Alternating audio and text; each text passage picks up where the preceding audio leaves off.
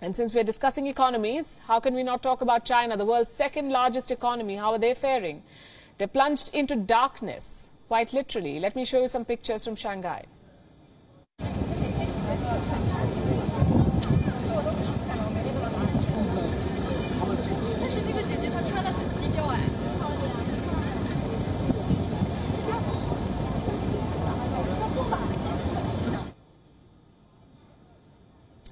This is the famous Shanghai skyline, a symbol of a developed China. It has now been forced to switch off the lights because China is facing a power crunch. So much so that officials have issued orders to ration power supply.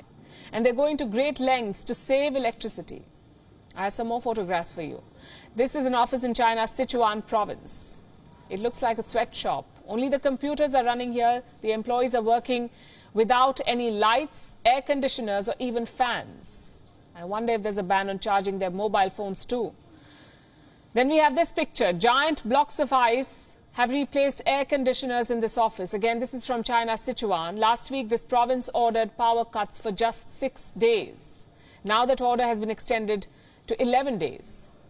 So perhaps offices in Sichuan will need more ice because they're not getting any electricity anytime soon. China is facing its longest and most severe drought in a long time. 66 rivers in 34 provinces have dried up. Rainfall is down by 60%, and remember, China depends heavily on hydropower for its electricity.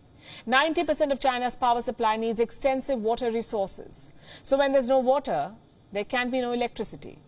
China is famous for the Leshan Buddha statue.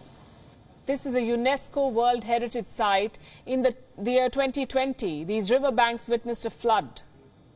There was so much water, it reached the toes of the statue. And now look at this. This is what the Leshan Buddha looks like today. The river banks near the statue have completely dried up.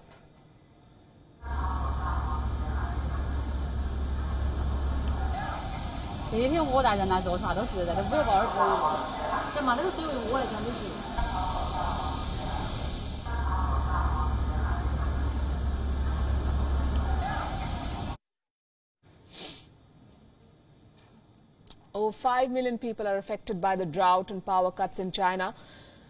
And there's no short-term relief in sight. These natural disasters are hitting the Chinese economy and their impact is expected to be as bad, if not worse, than the Wuhan virus pandemic. There's a sharp rise in factory shutdowns in China. Last week, 39 factories were closed. The week before that, almost 20 factories had to close their operations. So the numbers have more than doubled and we don't know if the shutdown is temporary or permanent. Either way, these disruptions will hit the Chinese economy hard. The property crisis has already pushed China towards a recession. Everyone is feeling the impact. Here's a headline that's been doing the rounds. The rich are selling their Rolex watches and also on sale are luxury bags from Hermes. China has a major market for second-hand luxury goods. Suddenly, it is witnessing a lot of activity.